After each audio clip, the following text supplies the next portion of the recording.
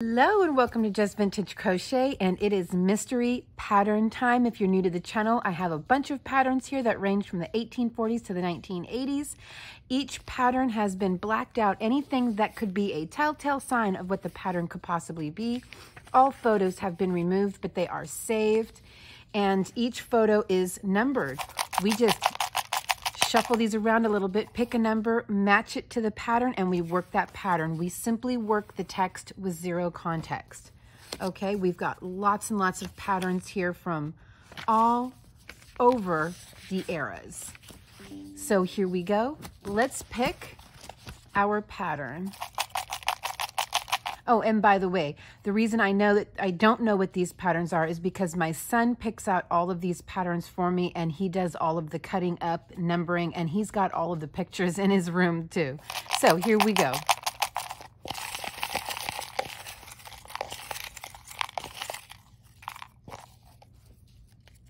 What do we have here? Oh, number 17. Okay, let's see what number 17 is. Since this one doesn't appear to have any pictures cut out and we don't have any tape to peel back, my guess is the uh, there's going to be a photo and probably the name of what the item is is attached to that photo as well.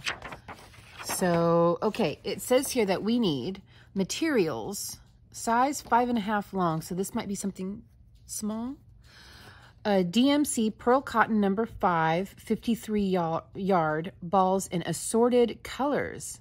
Steel crochet hook, size number 00. Modern, that's going to be a 3 millimeter hook. Um, okay, let me get everything I need. It doesn't say how many colors. Okay, I'll be right back. It's right here that whatever this is, is worked with double strand of cotton, wind each ball into a double strand and then round one with double strand of thread. So I went back through my stash and I found colors that I have two of just because I, I, I know you can work from the inside and the outside of the ball. I really don't like doing that. It just drives me crazy. So I have two of these. I have double of these, double of these. This is going to be interesting colors. Double of these, and double of these. So th that's going to be my official color options. Okay, so it says here a cluster, because, you know, a lot of different patterns have different definitions for what their cluster is. Yarn over, pull up a loop in the same stitch four times, yarn over, and through all the loops on a hook chain one eye of the cluster. Okay, round one with a double strand of thread, see note one. Well, I don't have note one with the double strand of the thread, chain 16, slip stitch in back loop of a second chain from the hook. So we're going to slip stitch in back loop. There's a slip stitch. And in next four chain, continue working back loops only. So in the next four, so that is, let me put this right here. One, two, three, and four. Now, single crochet in each of the next four chain, half double crochet in each of the next three. So single crochet in each of the next four,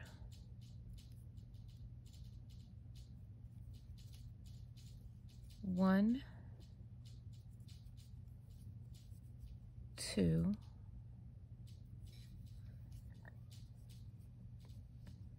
three,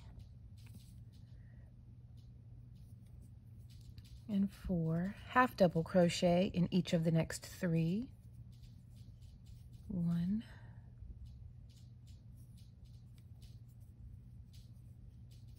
two, and three.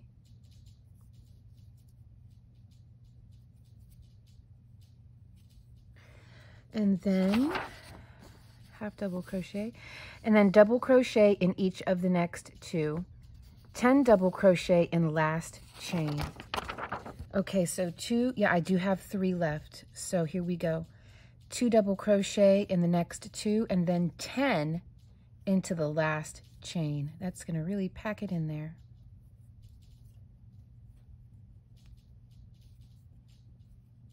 All right, now 10 into this last chain. So I'll go ahead and do that off camera. There is one. I'll be right back. Now it looks like we're gonna mirror everything we just did. So I've got my 10 double crochet worked in now. And I wonder if we're making a shoe. I wonder if we're making like a baby's shoe. Hmm. Okay. So it says 10 double crochet. Okay, working on opposite side of chain, double crochet next two, half double crochet next three, single crochet in next four, and slip stitch in remaining five. Slip stitch in first stitch and then end off. And we're gonna join another color. Okay, so just gonna mirror everything we already did. I'm gonna go ahead and weave in this end along the way. I do wonder if we're making like a shoe, like a baby's sandal or slipper or something. This is interesting. Very interesting. Okay. So, no, this is going to be a slight struggle here, isn't it? Oh, the struggle is real. Okay, that's one. The rest should be fairly easy. And two, I'm going to work three half doubles. And everything else like the rest. I'll be right back. It says to slip stitch in first stitch, which should be right here, and then end off. Oh, that's the first stitch. Kind of hard to tell sometimes. There we go. And then change color.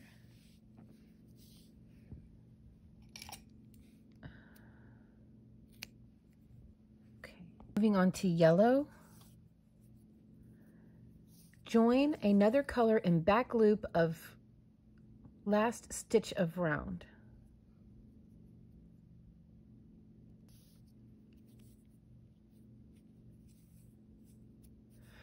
Okay, work two single crochet into the same stitch. So I'm going to chain one and work two single crochet one and two. Now it says uh, working in back loops only, single crochet in each of the next nine stitches. So back loops only. One, two. Let me actually mark that first stitch so that it doesn't get lost. My eyes, you know, sometimes stitches get lost. That's two. I'll be right back. I'm going to work nine single crochet into the back loop only. Now it says to work a half double crochet in each of the next six stitches. So yarn over and one, two, three, four, five, and six. Okay. Half double crochet, six stitches. Two half double crochet in each of the next 10 stitches. So we're going to work 20 half double crochet. So, okay, I will be right back. I'm going to do that off camera. There is our 20 half double crochet by way of two in each of the next 10 stitches. What do we have? It's, I don't know. What do you guys think? I'm still thinking it's a baby shoe. An ornately colored baby shoe. I don't know. Okay. Half double crochet in, half double crochet in next five stitches.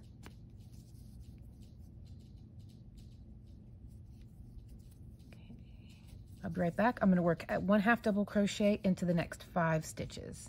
There are my five half double crochet. Now we have eight, one single crochet into the next eight stitches. Join with a slip stitch in the first stitch, and off. Turn to wrong side. Okay, so single crochet in the next eight stitches and then join with the slip stitch in the first. So I'm gonna do that. One, two, and three. I'll be right back. Running with the slip stitch, should we join into the back loop only?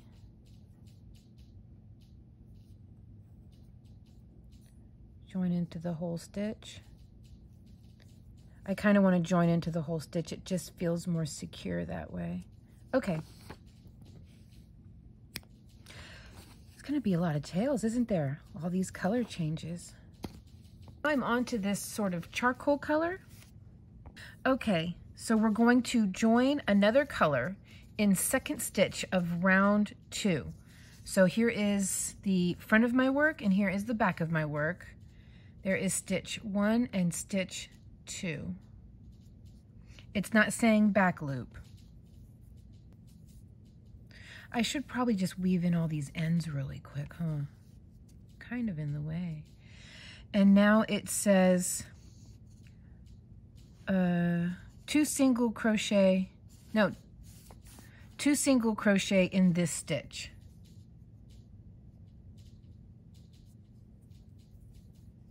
One and two. I should be, all right.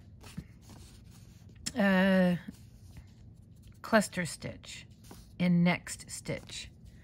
Okay, so that was a yarn over, go into the stitch, pull up a loop, yarn over, go into the stitch, pull up a loop, three and four, because it said to do it four times. And pull through all the loops and chain one. see if I could do a tighter chain one on that. Yeah, it's as tight as it's gonna get. Okay.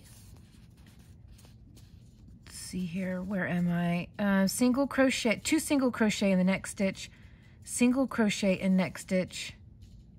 Okay, so we're gonna work two single crochet into this stitch, stop and weave in these tails. One,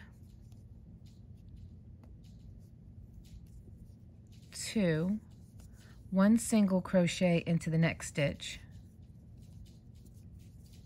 and then a cluster into the next. One, two, three, and four. I am no longer thinking that this is a shoe or else that is just mean. all these hard clusters on your feet. Okay, I'm gonna stop right here. I'm gonna weave in all of these ends because they are really getting in my way. I'll be right back. Got all those ends weaved in. So here's our repeat because this is where we ended, right? Okay, cluster stitch and next stitch, single crochet in each. So I'm guessing this was an increase that we were working up here. Uh, single crochet uh-oh, I got lost. In each of the next two stitches, repeat around. And, in, and last repeat with single crochet in next stitch, slip stitch into first single crochet. 17 clusters, end off and turn to right side. So our repeat is gonna be a cluster stitch, which I just worked, and then two single crochet, and then a cluster. So we're gonna be working clusters with two single crochet separating but not two single crochet into the same stitch, just two single crochet into the next two stitches.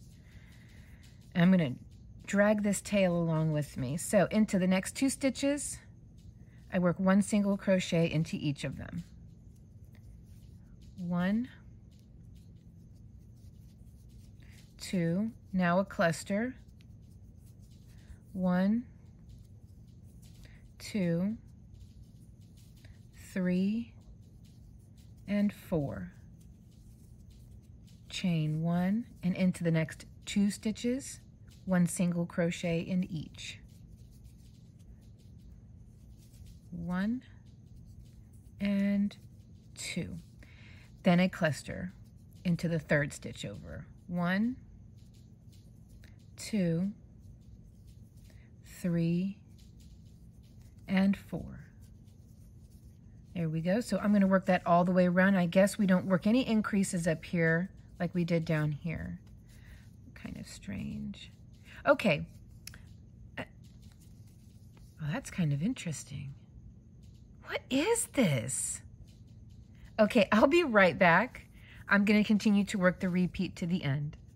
Okay, so I'm going to join into my very first single crochet made with a slip stitch and then cut. Okay, so here we go, all done. I have, well, maybe it'll be easier with this. One, 2, 3, 4, 5, 6, 7, 8, 9, 10, 11, 12, 13, 14, 15, 16, 17 clusters and a perfect representation of Staphylococcus bacteria. Staphylococcus delecti. I'm teasing. Okay, so this is the next color in my lineup, and this is my last color here. So here we go with this like mustardy green, mossy green color. Just noticed I've got another color to join right here. So I'm gonna bring that pink back in. I just don't know where I'm gonna put it. Maybe not, hang on. About adding white, it's neutral enough, right? Yeah, I think I might do this color and then put the white next to it and still end with coral. Okay, so remember it said to end off and turn to right side. So now we're gonna be working on the right side with the clusters facing us and join another color with single crochet in stitch before first cluster. Do not work in eyes of clusters. Two single crochet, okay. Okay, so in next stitch before first cluster, well, we were working this way, and so our first cluster is here, so the stitch before our first cluster is right here. Okay, so that was join with a single crochet.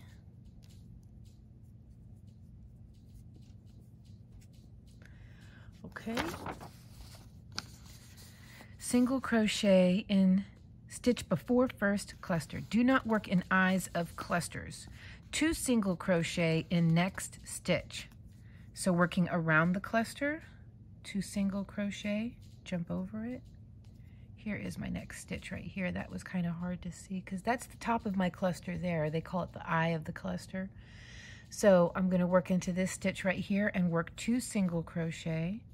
Guess I want those clusters to really protrude, I guess. Okay, two single crochet and next stitch. Do not work in eyes of cluster, two single crochet next stitch. Single crochet in next 10 stitches. Do I still not work in the eye? I guess not. Um, next 10 stitches. No, Single crochet next 10 stitches, yes, and then half doubles, okay. So single crochet in the next 10 stitches, and I'm gonna weave all these ends in along the way. Okay, so one stitch, two,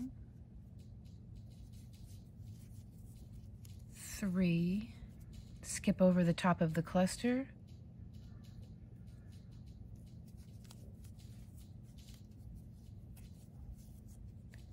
four, five, oops,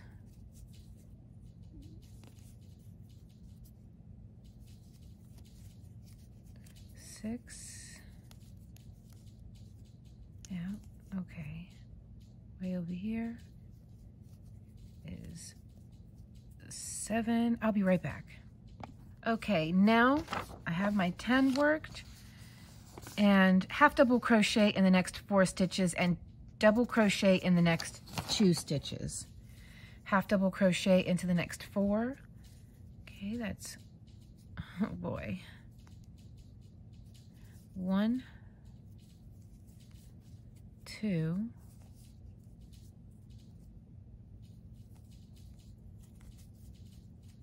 three, and four. Then two double crochet into the next two.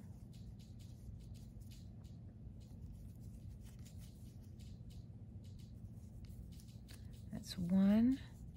Skip over the cluster.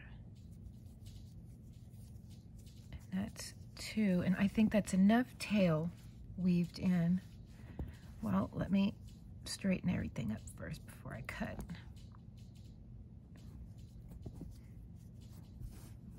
Okay, yes.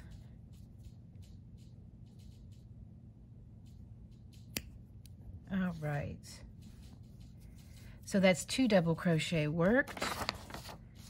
Now we have two double crochet in the next stitch, double crochet in the next three stitches five times. Just do it like they said. Okay, so two double crochet into this stitch and then one into the next three. One,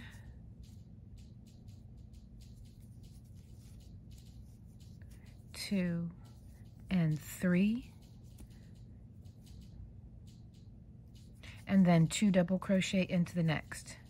So that was one time. Now I'm starting my second repeat. then one double crochet into the next three. One, two, did I skip one? No, I did not. Three, that's two. Two repeats done. Two into this one here. One, two, and then one, two, and three. That's three repeats. I'm going to finish the rest of this off camera. I'll be right back. Think it's really starting to take form now. Okay, five times, two double crochet in the next stitch, double crochet in the next two stitches. Okay, so we're gonna work two double crochet into the next,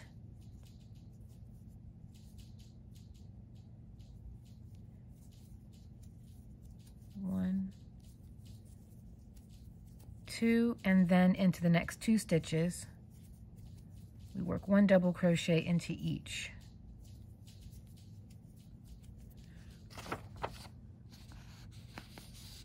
half double crochet into the next four stitches and eight single crochet after that. Okay, half double crochet into the next four. Okay, That is one, two, oh, Jesus, I'm sorry, three, four, and then eight single crochet. One, two, I'll be right back. We are to end with two single crochet into the last stitch. One and two. Let me redo that. Slip stitch into the first single crochet.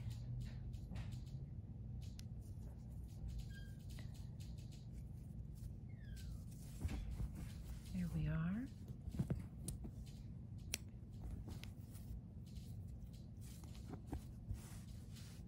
Very interesting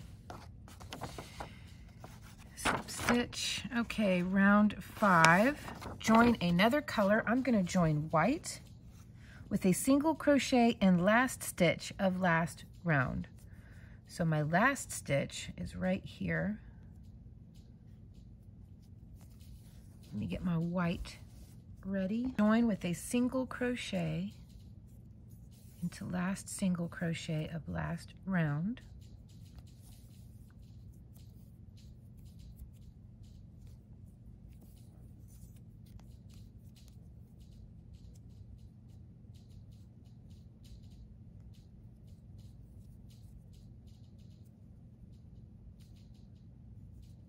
There we go. Okay. It says single crochet into the next two stitches. Here we go. One, and two. And of course I am dragging my tails along with me. To the next two stitches, two single crochet into the next stitch.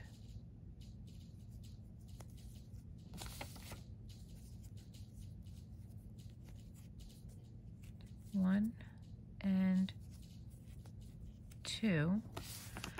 Okay, and then single crochet into the next eight stitches and then half double crochet into the next eight stitches.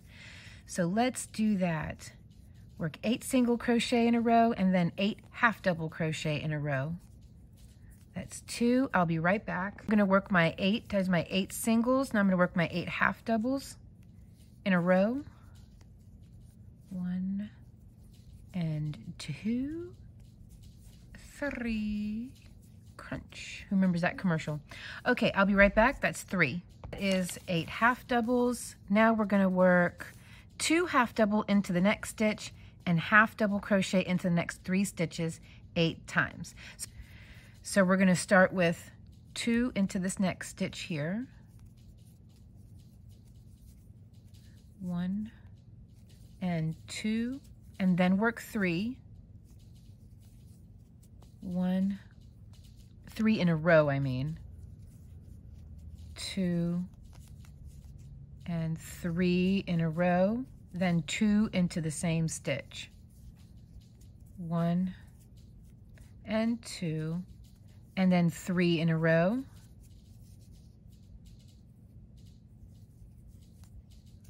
One, two, and three. Oops. And then two into the same stitch. One and two. I'll be right back. So I have got one, two, three, four, five, six, and seven. Okay, now we are up here and it says half double crochet in the next six stitches and single crochet in the next six stitches. So here we go. One, two, three, four, five, and six, and then six singles. One, two, three, four, five, and six. I must be off somewhere. Two single crochet in the next stitch, single crochet in the next two stitches, two single crochet in the next, single crochet in the next two. I've got three extra stitches here. Slip stitch into the first. Let me count my work. My stitch count is correct on this round, so it must be somewhere uh, on this mustardy green round where I got the stitch count wrong. That's okay we're just gonna we're just gonna make it work, right? So after the last, we work six half doubles, six single. So here we go, one, two, three. Here's what I'm gonna do.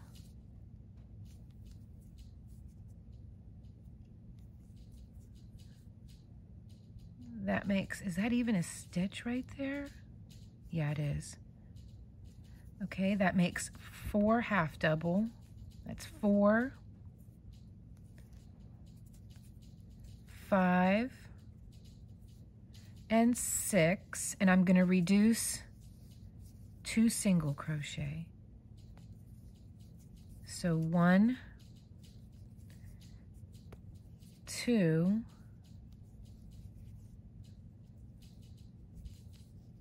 three, four, five, and six. There we go. I don't know what you're talking about. It's like it never happened. That's what we call making it work. okay, two single crochet into the next stitch, single crochet into the next two stitches. So we're going to work two single crochet into the next stitch like nothing happened. We did not just commit crochet crimes. I don't know what you're talking about. two single crochet here, and then two single crochet into the last two stitches. And then we slip stitch into our starting single. And cut.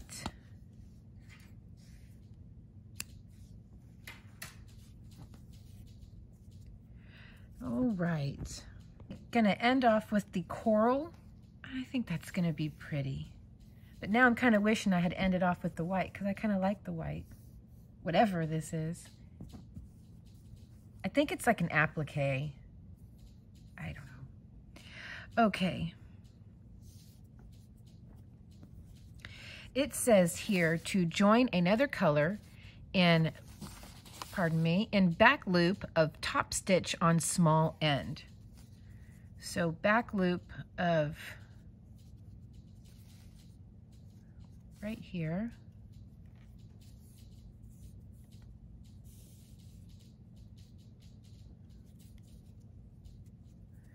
Okay. Chain three and slip stitch in the last slip stitch made. One, two, and three, and slip stitch in the last slip stitch made. What? Oh. Do they mean, oh, you know what I did? I, I weaved in, I worked my tail in on that. My bad. Okay. Do they mean one, two, three, the last chain made? Because it says picot made. I think they mean last chain. Like they're, I think they mean last slip stitch, but, you know, chain. Okay, picot made. Skip next stitch, slip stitch in back loop of next stitch, and repeat from here around. So skip this stitch, slip stitch into this back loop only, and make a picot.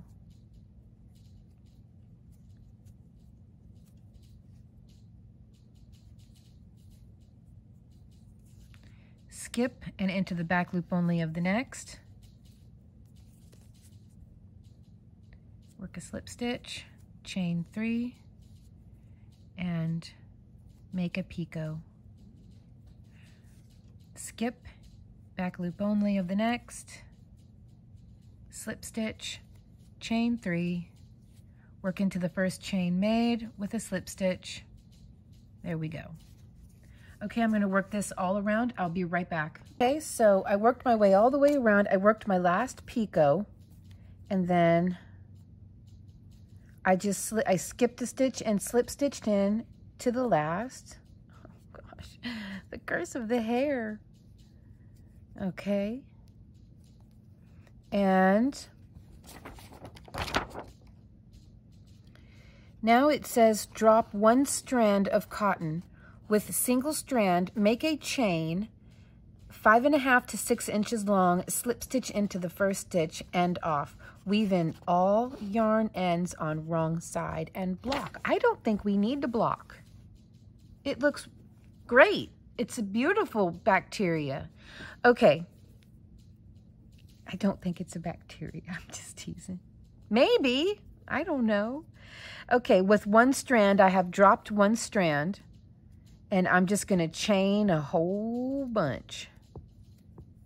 I'll be right back. Okay, there is five and a half inches. That was 30 chains. And then slip stitch into the first. So right down here. And then that should be it. Now we will get to uncover this and see what it is.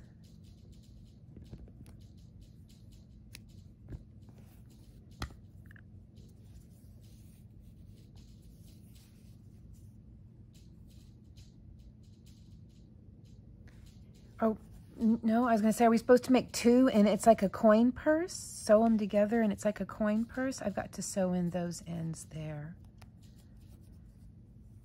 Uh, okay, let's just look and see what it is. Let me, let me run down the hallway. Okay, I know what it is now. And it's very, very cool. Very, very cool. Paisley Pear Drop Christmas ornament. How cool is that? Oh, I like this one. They only used like three colors total in this one. That's cool. So they're not using a different color every time like I did. This one has a little bit more color. They're just kind of mix and matching the same colors. But that's okay. That is so cool. So it's not bacteria. it's not a virus. It is a paisley. Oh, from the 70s. That makes so much sense. And look, with my little mistake right here where I had to work a couple of stitches together, it kind of made it almost look even more paisley, you know? Like, that's kind of cool. Oh my god. Oh, this one was fun. I love it when it's a success. And it's a cool looking success. Oh, I like this. I like this. This one here is going to go into the scrapbook. What scrapbook? Just a moment. So I did a thing. Uh, Rosemary, you may have seen her a few times in the comments. She's been, honestly, a friend of mine since the um, It's Not Knit channel. Let me raise this camera up. Emailed me this wonderful video of a woman who was going through an antique crochet uh, sampler book slash scrapbook. And it, it really made me want to do that, especially with all these mystery patterns we work. So I went on Amazon, and of course, I'm going to leave a link. Nothing is affiliated. I'm not affiliated with Amazon. I used to be on my other channel, but it was kind of ridiculous. So I'm not affiliated with anybody on earth. So I will leave a link for this on Amazon. It is 10 by 10. It is square. But I wanted to make create my own sampler slash scrapbook. And it's going to be of everything that we work on on the channel, samples of things, filet crochet and all that. So it has black cardboard. These are like cardboard pages. Um, I'll have to figure out, that's the only thing I can't figure out is how to affix the things to it because I can't sew them onto the cardboard. So I'm thinking maybe a, a double-sided tape. I don't want to use pins because that will ultimately ruin. See, this is this is the cuff, 1846 cuff that I made. Well, this is one of the things that I would like to keep, you know, into the scrapbook like that. And then just right below what it is, what year I made it, all this and that. I'm thinking maybe double-sided tape. While that will be temporary you know, throughout. I'm hoping in 100 years from now, somebody will open this book and look at it. That'll be temporary, like 100 years from now. I also bought these plastic sleeves that go over each page, and I'm going to seal the bottom of each sleeve shut. So as these things throughout the decades loosen up and fall, they're not going to be gone. They're still going to be here. And so hopefully that will help keep it you know, maybe it'll slide down to the bottom or whatnot, but they won't be ruined by pins. They won't rust out. They won't be stitched on, just double-sided taped on, and that'll be fine. Eventually the tape will wear off, but these plastic sleeves will help keep them in place.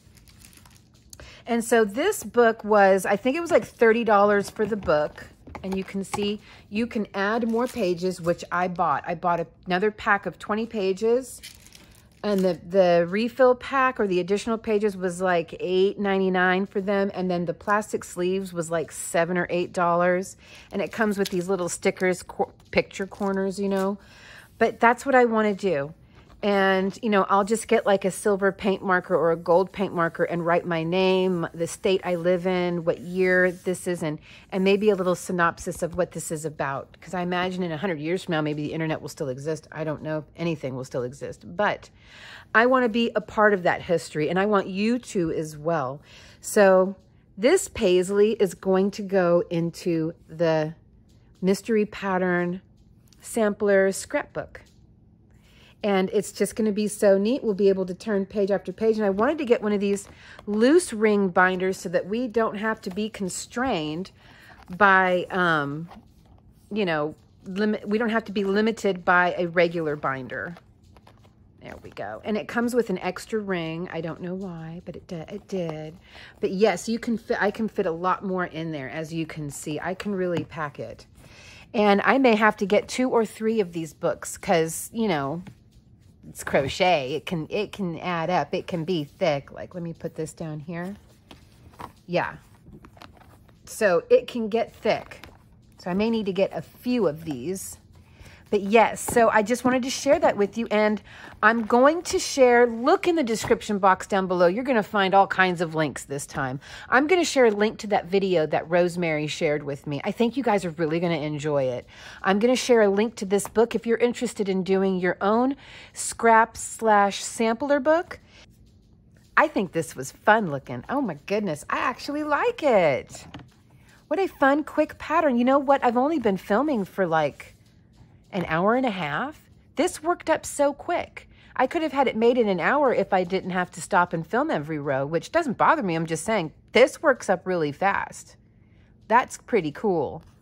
If you wanted to use thinner thread, you know, you can use this as a gift tag on gift boxes in the Christmas time. Ooh, or make a bunch of them for little appliques for your hats and, and mittens and scarves. Cute. Okay, guys. So I, yeah, I wanted to show you this. And they have different ones. Um, like they have ones with little hearts and stuff all over them. Just real pretty, but you'll see. I'll, I'll share the listing down below. So just check out the description box. There it is. Let me know what you guys think of it. It's a success. It's a success. And I still love this. Oh, I love this so much. This was made with that like 90 plus year old thread I had, that number 60 thread. Whew. Isn't that pretty? Oh, I love it. Okay, guys, I will see you in the next mystery. Bye.